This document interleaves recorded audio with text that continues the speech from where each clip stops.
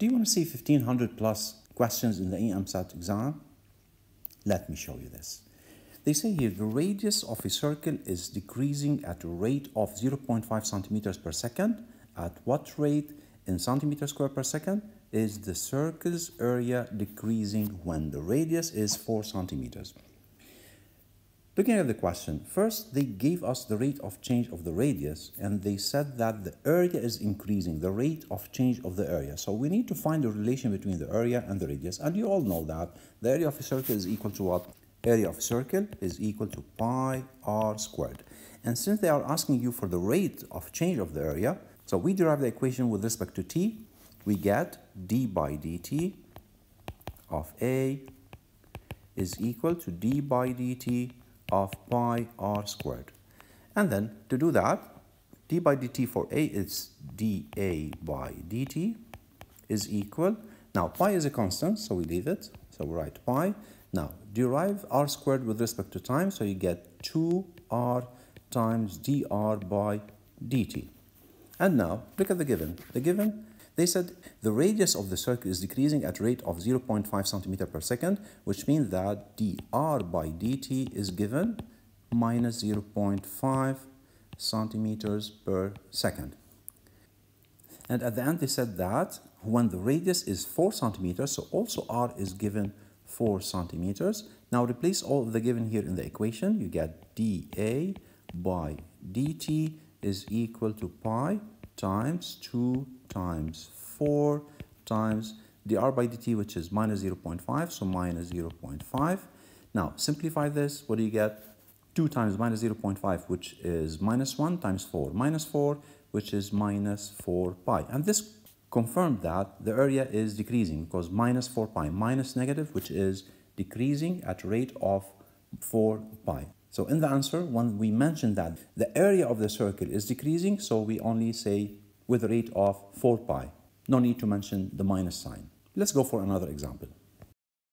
To reach out these questions, you need to pass all the easy questions before until the system gets you to this level. Now, here, they said find f of x given the equation and conditions below. f prime of x equal to g prime of x plus 3, given that f of 0 equal to 2 and g of 0 equals to 1. Now, we have those choices 1, 2, 3, 4. To find which choice is the correct, let's try deriving the functions here.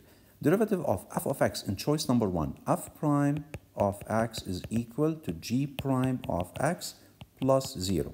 Is that correct? Let's match it with the question up.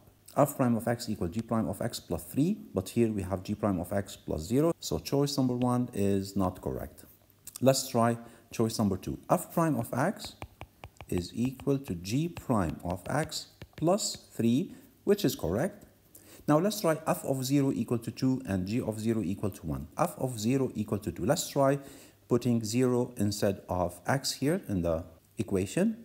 So f of 0 is equal g of 0 plus 3 times 0. They said f of 0 is equal to 2. So g of 0 is equal to 1, which means that it's equal to 1 plus 3 times 0, which is 0, which is equal to 1 which is not correct because they said f of 0 equals to 2. Here we have it equal to 1. So this choice is also not correct. Let's try this. f of x equal g prime of x plus 3x. So f prime of x is equal g double prime of x plus 3. g double prime is not given, so we just ignore it. So this is wrong. Here, f of x equal to g of x plus 3x plus 1. Let's try f prime of x equal to g prime of x plus 3 plus 0. Derivative of 1 is equal to 0. So now this is correct compared to f prime of x equal to g prime of x plus 3. Now let's try f of 0 is equal to what? f of 0 is equal g of 0 plus 3 times 0 plus 1. Replacing in this equation, f of 0 should be equal to 2. So let's try g of 0 given as 1 plus 3 times 0, which is 0, plus 1, which is equal to 2 and this is matching what's given in this part. So this would be the correct choice. Another example. Find the limit where k is positive integer. Limit at x approaches to infinity for x to the power k over e to the power x. Now, to find the limit as x approaches infinity for the expression x to the power k over e to the power x, where k is positive, we will use Hopital's rule, which states that if the limit of the quotient of two functions is of the indeterminate forms, let's say infinity over infinity or 0 over 0, then the limit of their derivatives will be the same, provided the limit of the derivatives exists. Let's differentiate the numerator x to the power k so the derivative of x to the power k gives you what? k x to the power k minus 1. Now, deriving the denominator, you get e to the power x. Derivative of e to the power x gives you e to the power x. So in this case, we can write limit as x approaches plus infinity, the x to the power k over e to the power x is equal exactly to limit as x approaches infinity for k x to the power k minus 1 over e to the power x. Now, as x approaches infinity, the denominator e to the power x grows much faster than x to the power k minus 1 for any positive k, leading to the limit approaches 0, like limit as x approaches infinity for x to the power k over e to the power x is equal to 0. So in this case, we can say that the limit at x approaches to infinity for x to the power k over e to the power x is equal to 0. Let me give you like simpler way. Let's give k a specific number. Let's say that k, let's say 4. So the expression becomes x to the power 4 over e to the power x. Now, deriving x to the power 4, you get 4x cubed.